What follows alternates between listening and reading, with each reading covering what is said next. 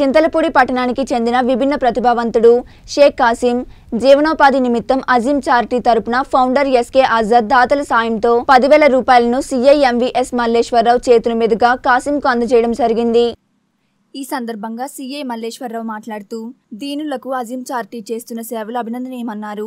గతంలో మినీ బస్టాండ్లో ఉన్న దీనులకు ఇరవై మందికి ఆధార్ కార్డులు రేషన్ కార్డులు అందించడం వలన వారి జీవనోపాధికి ఎంతో ఉపయోగపడిందని అన్నారు. మసీదు కమిటీ అధ్యక్షుడు సయ్యద్ రహీం జమత్ అధ్యక్షుడు ఎండి అక్బర్లు మాట్లాడుతూ ఫౌండర్ అజద్ తన తండ్రి అజీం పేరు మీద సేవా కార్యక్రమాలు చేయడం హర్షించదగ్గ విషయమని అన్నారు.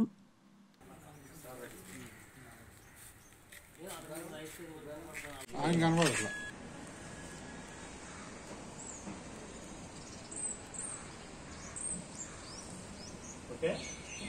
ఇచ్చేయండి సార్ ఈ అజీం చారిటీ తరఫున కాసిం గారికి ఆ, వారు కొద్దిగా ఆ, నడవలేని స్థితిలో అంగవైకల్యంతో ఉన్నప్పటికీ కూడా ఆయనకు ఒక చేదోడు వాదోడుగా చారిటీ తరఫున ముస్లిం పెద్దలందరూ కలిసి సుమారు ఈరోజు పదివేల రూపాయలు ఇచ్చి అతనికి ఒక జీవనోపాధి కల్పించడం కోసం ఒక షాప్ పెట్టుకోవడం కోసం సహాయం చేయడం జరిగింది. ఇది నిజంగా చాలా అభినందించదగినటువంటి విషయం.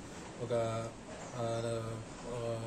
చేసుకోలేని పరిస్థితిలో ఉన్నటువంటి ఒక వ్యక్తికి ఈ విధంగా తోడ్పాటు అందించి వారికి వారి కుటుంబాన్ని కొంచెం డెవలప్ అవ్వడం కోసం చేసినటువంటి ఈ సహాయం నిజంగా చాలా గొప్ప సహాయము.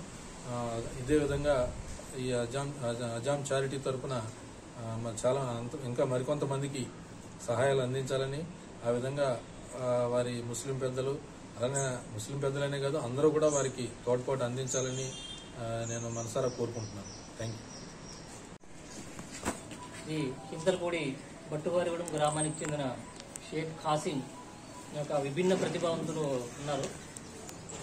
ఆయనకి చింతలపూడి ప్రాంతం చెందిన ఎన్నో ఏళ్ళ నుండి అతని యొక్క విభిన్న ప్రతిభావంతులైనా సరే వా- ఆయనకి పెన్షన్ రాకపోవటం లేకపోతే ఈ ట్రైసైకిల్ ఇటువంటి యొక్క ప్రభుత్వం నుంచి అందకపోవడంతో ఆయన మా అజీమ్ చారిటీకి సంబంధించి మమ్మల్ని సంప్రదించడం జరిగింది.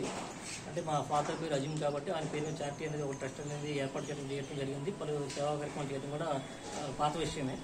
అందులో భాగంగా ఆయనకి పెన్షన్ పెన్షన్ ప్రభుత్వం ద్వారా వచ్చేలా చేసి అలాగే బ్యాటరీ ట్రైసైకిల్ కూడా ఇప్పించడం జరిగింది.